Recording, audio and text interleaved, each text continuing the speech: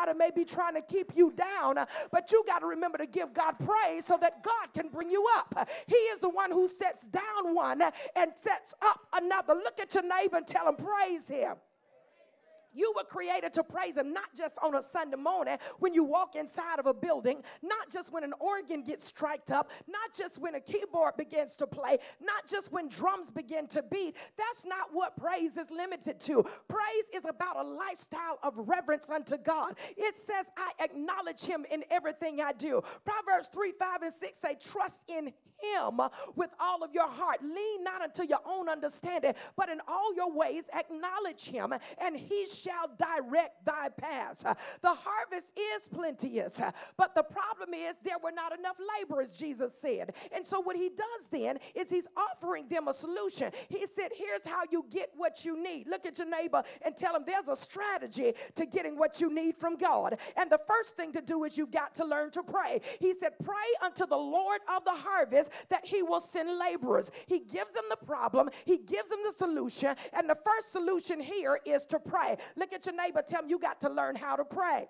we find ourselves in the Word of God. When I go back to the Old Testament and I think about uh, uh, the life of Leah and Rachel, two sisters who basically didn't look quite the same, but we find that there was a young man, Jacob, who had his eye on Rachel, but her daddy wanted to give Leah to her to him first. He never did want Jacob to take Rachel, but all of a sudden he's got to work so that he can get Rachel, and he finds out after working, thinking he's getting Rachel, that he's really working just to get Leah. Leah. The Bible calls Leah tender eyed or she was cross eyed. She didn't look like what he wanted her to look like. But I want you to understand something about God. One of the things that God does for us is he oftentimes will present to us what he needs for us or what he wants for us to have. But the problem is we don't always want what God wants for us because it's not attractive to us. That job is not attractive to us. Staying in that situation is not attractive to us. And so we want to jump up up out of it. I come to offer you a solution to your problem.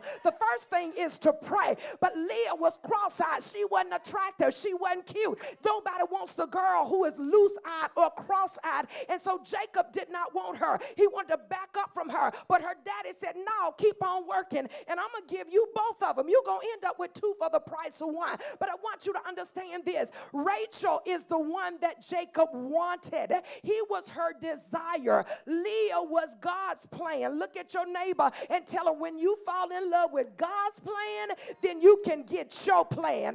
Look at your neighbor and tell him you might not like what God's got, but if you learn to get in bed with what God wants, then God will let you lay up with what you want. Look at your neighbor and tell him you got to go after what God planned for your life. Leah was a part of the plan because there were sons that had to be born to Jacob, and Leah was the mother of some of those sons. Look at your neighbor, tell him something in your life that God's trying to produce is contingent upon you falling in love with God's plan for your life. It ain't comfortable, it's not convenient, it's not attractive, but it is God. And if you can ever get in line with what God wants, look at your neighbor, tell him, then you can get what you want.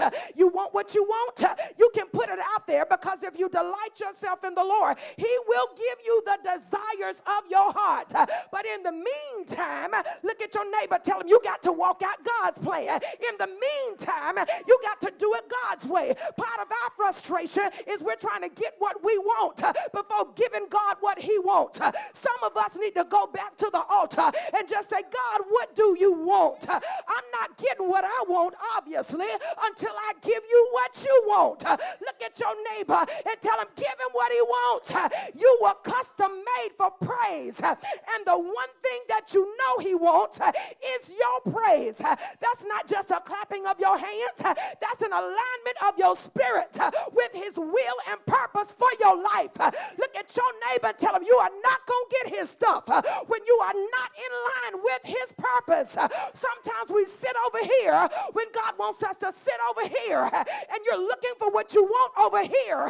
But what God's going to give you is over here when you learn to align with his will. Look at your neighbor tell him, get up out of your own flesh, uh, get out of your will, uh, and line your life up with the word of God uh, so you can get the desires of your heart. Look at somebody near you and tell them for me. Tell them I was created to give God glory